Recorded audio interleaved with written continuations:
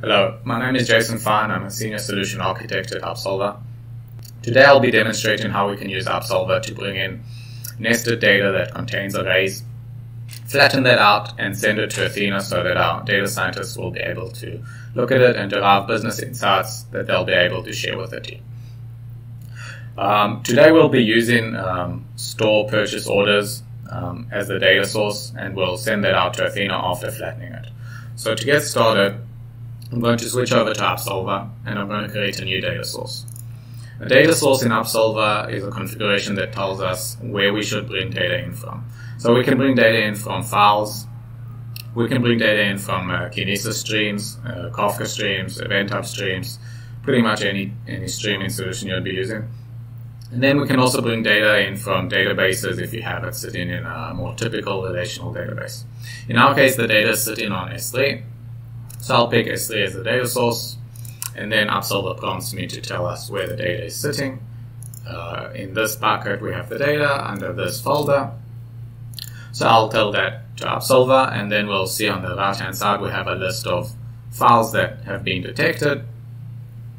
Uh, and then we can name this or data JSON.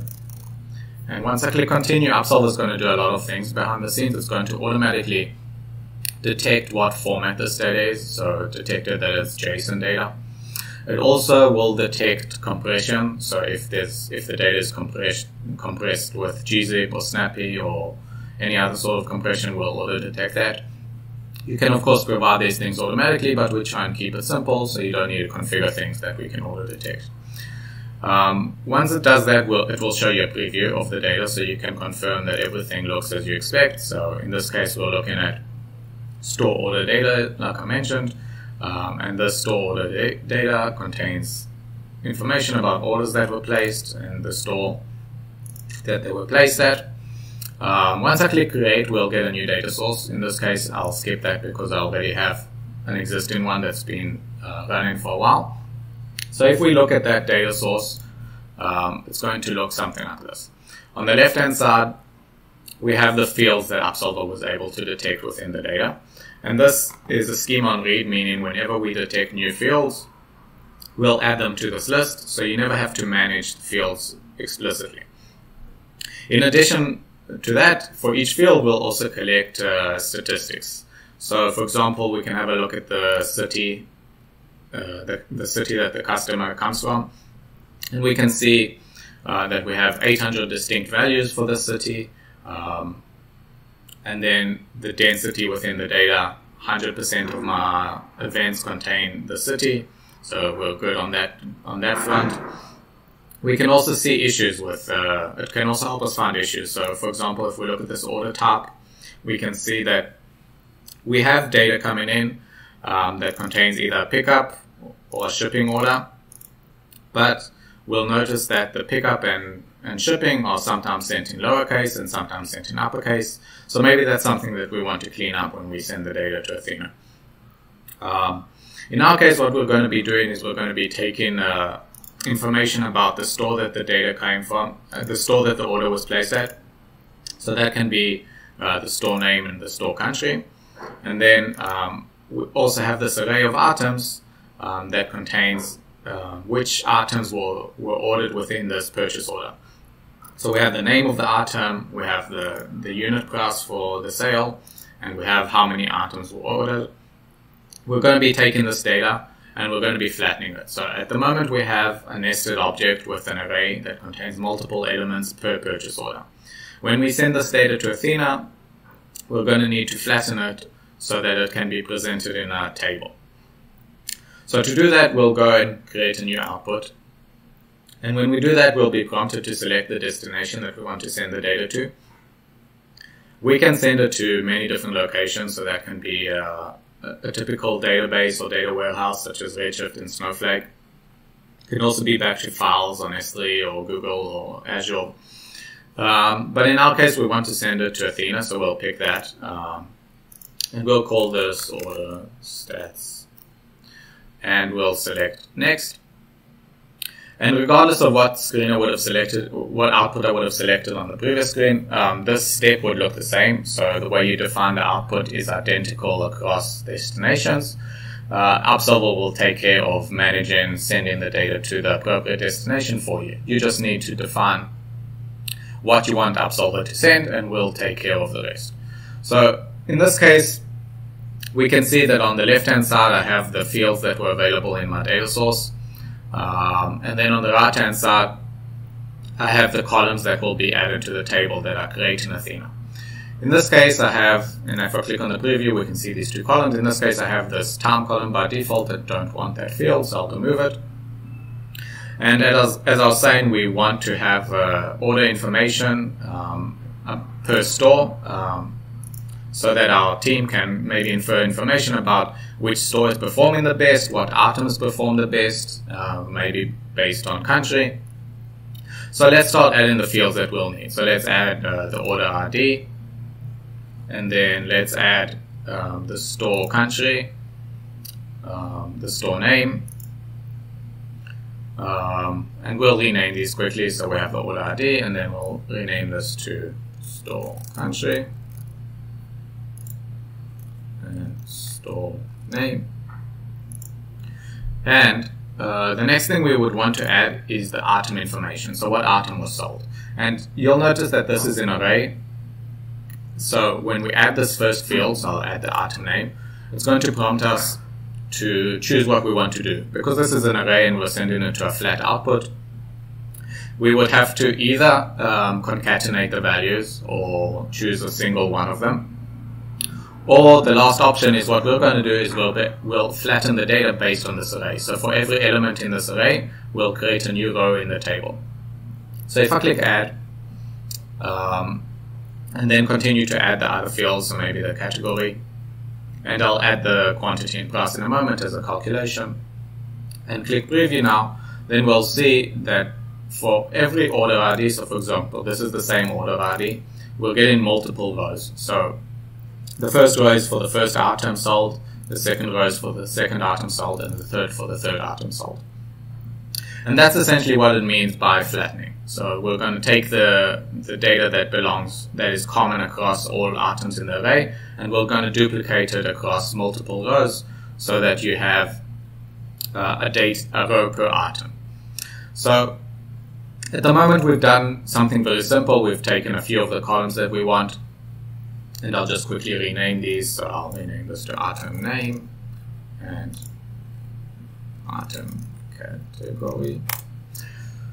So we've just taken a few few items from the data source and we've mapped them to our output table. Um, we might want to do calculations as well. So for example, in this case, I might want to take the, the quantity and the unit price and multiply those together, together to get the final sale price for this uh, line item.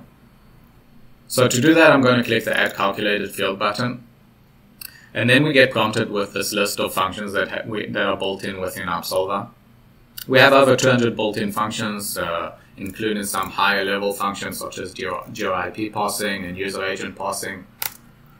But for our case, we're, we're, satisfied with the lower level functions such as multiply, addition that you can use to build out your business logic. We just need to multiply two values together, so we'll choose that. And then we'll choose uh, the quantity as the first, uh, first operand, and then the unit class as the second. And then we'll name this final class. And we'll notice that we're placing the result within the data.items array. So placing the result back within the data.items array allows us to keep the context of the calculation in the correct location. And that way Upsolver will calculate the correct result and then and only then flatten the data so that you get the correct uh, final price for each line item. So if I click save, um, we'll see that that field got added to my schema. And if I preview this now, we'll see the final price per line item uh, listed within these fields. Another thing we might notice is that some of these fields are missing. So the store name and store country are missing. And that is because not all of our orders are placed within our physical store. So some of this orders are coming from a web order. And we can see that under the sale info source field. So to fix that, we can filter out uh, the data so that we only have store orders being sent to Athena.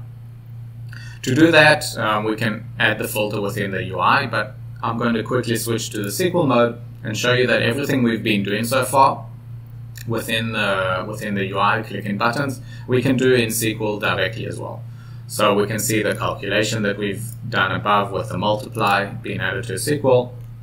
And then we can also um, add a where filter. So in our case, we want to filter where the sale info.source equals, and you'll notice that there's autocomplete that pops up that actually um, contains the values of the field um, because of that metadata that we were collecting during the data source uh, ingestion stage. So in this case, we want any order that comes from physical store. So we'll select that and we'll click on the preview.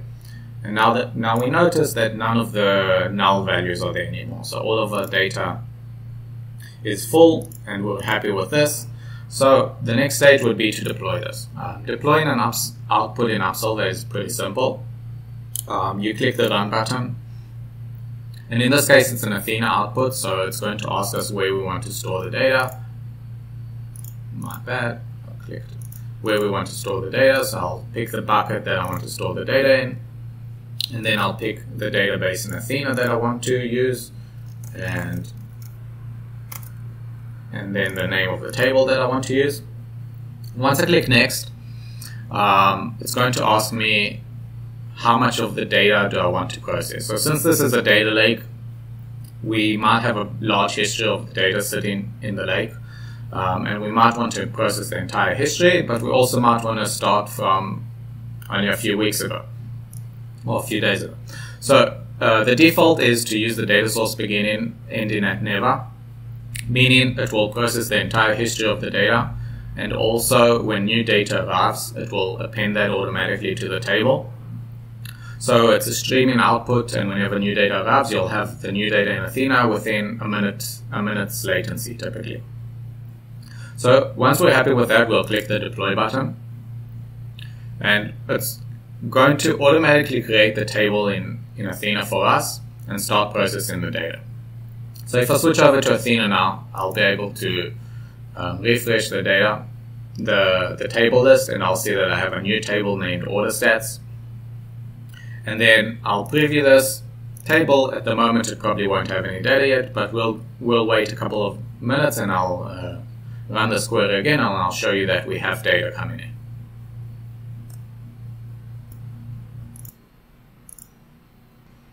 So it's been about one minute, and uh, now if I execute this query, we'll see that we have data coming into ups to the table.